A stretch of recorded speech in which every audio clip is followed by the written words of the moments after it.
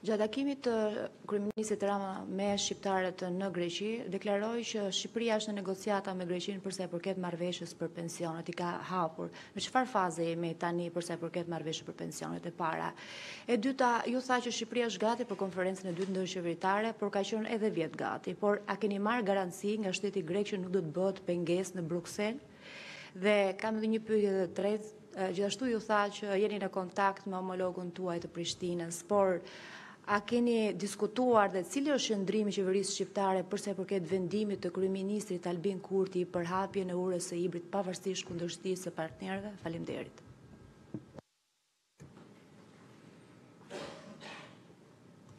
Qeveria e Republikës së Shqipërisë e ka bërë pjesën e vet të detyrimit për hartimin, saktësimin, definimin e gjithë angazhimeve që duhet për marrëveshjen e pensioneve midis midis Shqipërisë dhe Greqisë.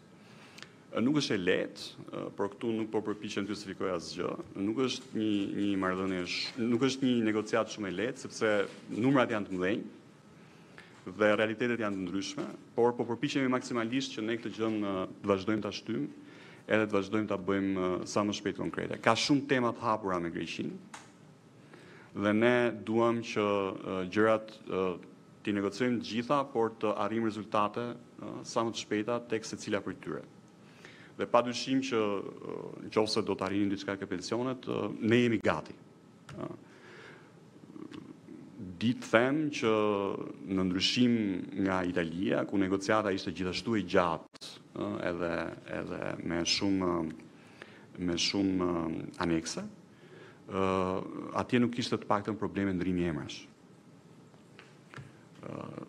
Kështu që kjo gjë është është diçka që kur të futemi ke elemente teknike duhet të jemi shumë shumë qartë dhe shumë mirë të të angazhuar për atë që po bëjmë. Di të them gjithashtu që shumë shqiptarë të cilët kanë punuar në Greqi, këto përfitime i marrin në momentin që kanë emigruar nga Greqia në vende të tjera të Bashkimit Evropian me të cilat ne kemi marrëveshje. Pra, një shqiptar që ka emigruar nga Greqia në Itali apo në Gjermani ku ne kemi marrëveshje për pensionet kanë filluar ta kenë edhe përfitimin. Pra janë ka dhe disa artifice të të situatës. E padyshim që kur them që janë shumë kantiere ndërtimi të hapura me me Greqinë, di të them që angazhimi ka qenë konstant, ka qenë absolut gjatë gjithë këtij viti me autoritetet greke për Çështjen e e hapjes së grupkapitullit të parë. Ka qenë një angazhim diskret, jo publik, jo me mikrofona apo me deklarata, por me punë dhe angazhim të përhershëm dhe mendoj që jemi gjithmonë në rrugën e duhur.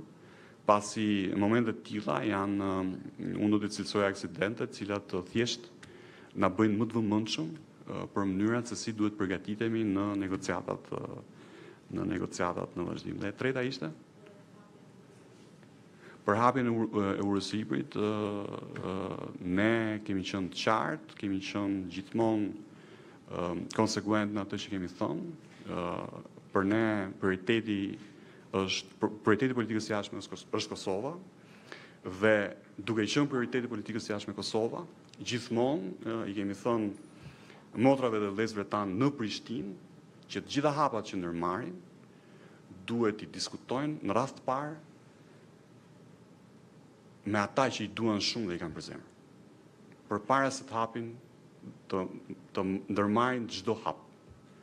t'i negociojnë, t'i diskutojnë, t'i debatojnë dhe të arrijnë konkluzione me vendet dhe organizatat që e kanë bërë Kosovën të lirë e të pavarur siç është sot.